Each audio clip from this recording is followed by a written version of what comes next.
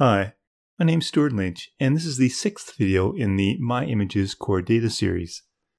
In the first five videos of this series, we saved our images to the application's documents directory. And I've had many requests to update this to show you how you can store your images as data right within the core data model. So that's what we're going to be doing in this video. We'll add a new image attribute to our core data model and create a value transformer so we can easily transform our data into a UI image when reading and back to data when adding or updating our images. I love getting your feedback, so tap the thumbs up button if you enjoyed this video and leave a comment below. Make sure you subscribe to the video and ring that bell to get notifications of new videos. And if you want to support my work, you can buy me a coffee. As this is a continuation from the previous five videos, if you've been following along, feel free to continue on from your own project. If you're just landing on this video or no longer have your project, you can download the completed project from video 5. The link is in the description. I do recommend that you watch the videos, however, as you can get a better understanding of how the application was built and its functions. So this is how it works right now. As you can see, I currently have two images stored in my application and displayed in this grid view. As I print out the path to the documents directory in the console when I run the application, we can select that path and then right click and choose Services and then Open. If you run this service, it'll open the application's documents directory and show you that you have those two images stored there. The information about the images is stored in core data with the ID pointing to the corresponding image. As I said, we want not to store the images here, but rather as data in a core data attribute. So to make things easier to deal with and be less confusing, I'm going to remove any images currently in the app. The first thing that we'll need then is a new attribute for our entity in our data model. So open it from the Project Navigator. With the My Image entity selected, tap on the plus button in the Attributes section and add a new entry and call it image. Specify that the type here be transformable. Now if you click off the entity and then back on again, you'll see that the image attribute gets stored alphabetically. If we select the attribute and open the Attributes Inspector, we can see that it's an optional transformable type. This is going to require a value transformer that will take whatever values we have and transform them into a specific type before they get inserted into the database and before they get read. For us, this is going to be a UI image so that the custom class field here, we can specify that this is what we want, a UI image. If we build, we get an error because the underlying MyImage plus Core Data Properties class that is created can't find that type, and that's an optional UI image. Notice that this file here that we can find is automatically generated by Xcode and should not be edited. So we can't import UIKit here. What we'll need to do is replicate this file so that we can update it. Well, there's an easy way to do this. For the entity, we no longer use the class definition code gen. So back in the data model, select the My Image entity and then switch the code gen from class definition to manual slash none. Then with the model file open, you can choose from the editor menu, create NS managed object subclass. Well, we only have one data model, so we can make sure that it's checked and then click on next. And then this will list all the entities that you might have in your project. Most of them probably won't need any modifications, but ours does. So make sure that this one is checked and any other ones that you might have are unchecked. And then click on Next. When you get the opportunity to save, I suggest that you navigate in the top pane into your core data folder. And then for the group, make sure you drill down and select core data. Then click on Create, and this will create two files in your Core Data folder. One named My Image Plus Core Data Properties, and this is the same auto-generated file, but this time we have absolute control over it. so we'll be able to import UIKit. Then there's another file called myImage plus core data class, but we'll not be touching it. We'll just add that import here to UIKit and build. The errors go away, but we still get warnings that we'll need to deal with. Well, now that we are manually generating our files, if you ever have to add or remove attributes for this entity, you'll have to add and remove the properties yourself or regenerate the file. And the issue with this is that if you've made any modifications like we have just done, you'll have to do those again. Now our own existing extension that we created is not touched, but we will have to update it as we no longer will be fetching our image from the documents directory. So if there is one stored in that image attribute, it will display it. Then it will display it after we've created our transformer. Otherwise, if it fails to transform or if we have no image, remember it's optional, we'll want to display our placeholder photo image. So we can change the computed UI image property to reflect that. Well, a value transformer can take any type as input and return a value of a different type. So in our case, we'll be transforming a UI image to a NS data to store in our database when we write to it, and then reverse the process by transforming the data to a UI image once it's read. Within the core data folder, create a new file and call it UI image transformer. Inside there, change the import to UIKit.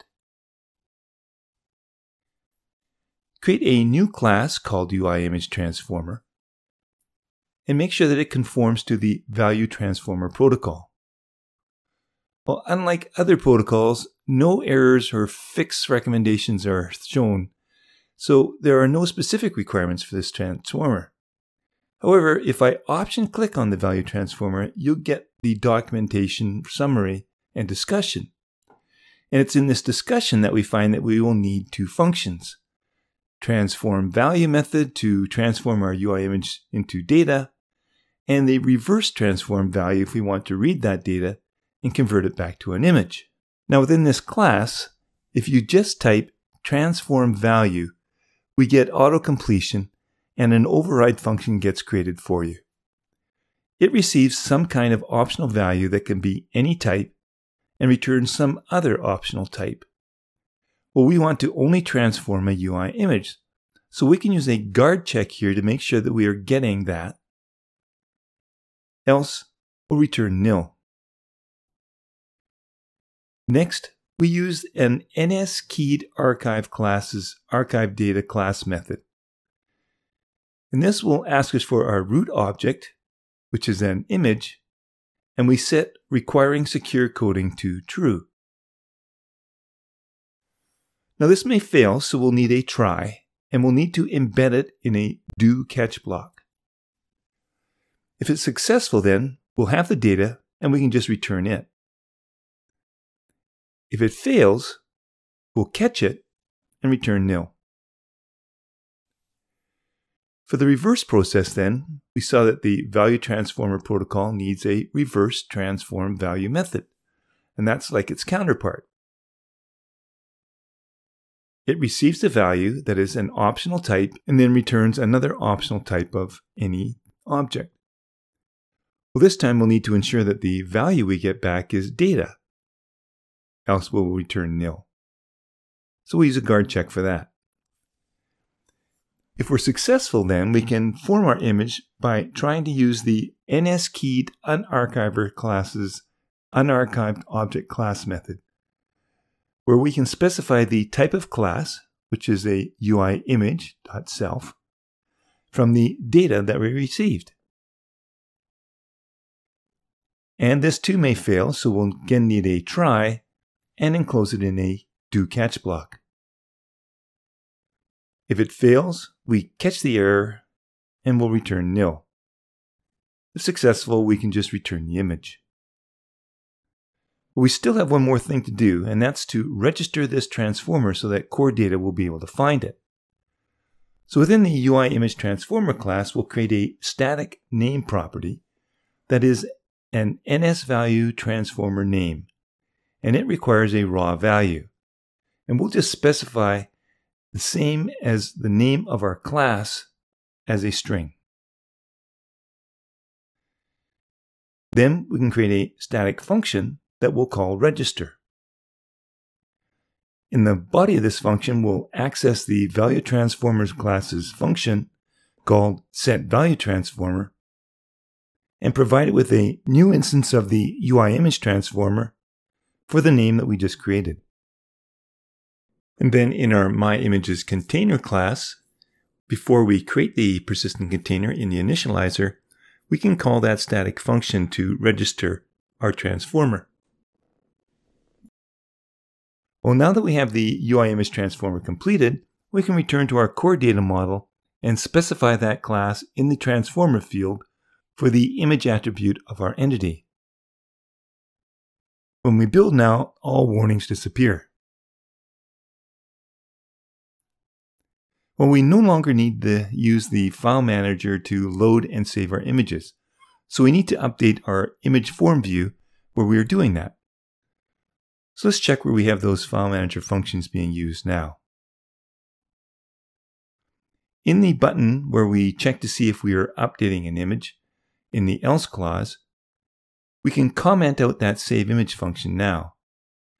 However, at the same time, we need to, before saving, set the image property of the new image to our view model's UI image. And it'll get transformed into data and saved.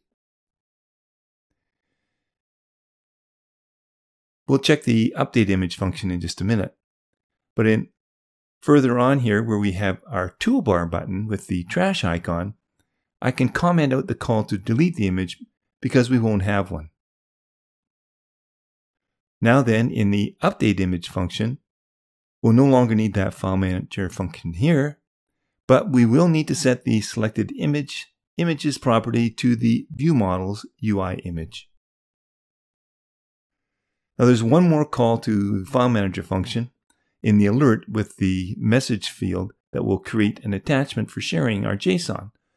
But we're going to still need that function because that one deals with the zipped attachments that's used when we share images. We'll get to that in just a minute. But let's test where we are. I'm going to run the application now in the simulator, and I'm going to add a couple of images.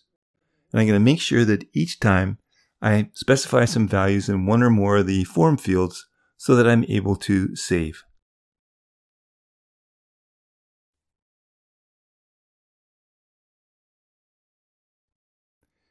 Well, if I stop and run the application again, we see that the images have been stored in core data. But are they also stored in the documents directory? Well, let's check. I still am printing out the location of that documents directory that I can right click on, choose services and open, and then run that to open the documents directory. And you can see it's empty. Perfect. Well, so far so good. But when we share our photos, we no longer have that image in the documents directory that we can zip up and share via that email attachment. This means that when we decide to share an image and the metadata that we have added with it, we will need to first temporarily save the image to the documents directory, zip it up, and then delete the image as we attach the zip file to the email. Conversely, when we restore an image, we'll need to save that image to the documents directory as before assign it to the UI image property of the new or updated object, and then subsequently delete it from the documents directory. So first in the share services class, since we will be dealing with UI images, we'll change the import to UIKit. And then in the save my image function, we'll now need an additional parameter for a UI image. Then we'll need to save that image to the documents directory. And we can do that right after saving the JSON by calling the File Manager's Save Image function using the Codable Image ID property and the UI image. And then we go and zip the files. And right after we zip up the files, we'll need to delete that image because we won't need it anymore. So we can do that by trying to call the file manager's remove item method at the image URL. It's in image form view where we actually call this function as an action in our OK button. So we'll need to update the call to this function to pass in the view model's UI image. Well, that handles the sharing of an image via an attachment. When we restore an image, it'll be coming to us exactly as it always had, with JSON and an image, so our app's entry point call to restore will still be the same. The restore function in the shared service class will unzip and store the image in that documents directory and create a Codable image object there as well that we monitor for changes in our grid view. So let's go to our My Images grid view and we see that there is that on change of the share service Codable image object. And the image and the JSON Codable object will either be a new one or an update to an existing one. So we have two functions that we're going to have to update.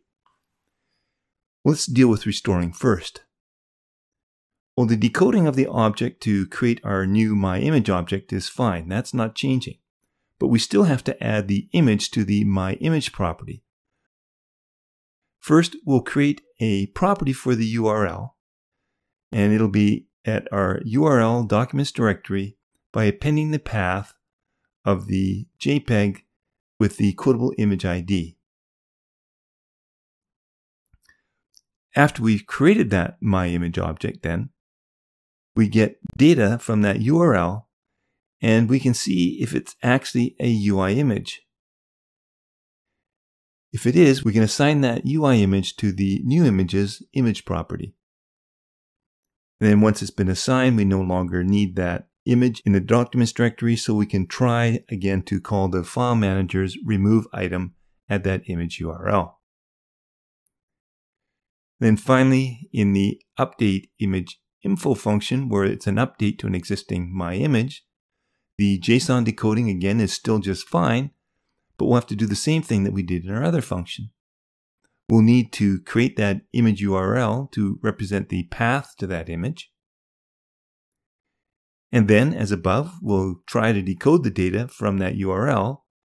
And if we can form a UI image from that data, this time we'll assign it to the existing MyImage image property. And then again, after saving, we can remove the image from the documents directory. That's it. So let's test but I'm going to need two devices that I can send and receive email to. So I've installed that same application on my phone on the left and my test device on the right. Notice that my test device has three unread messages or emails right now.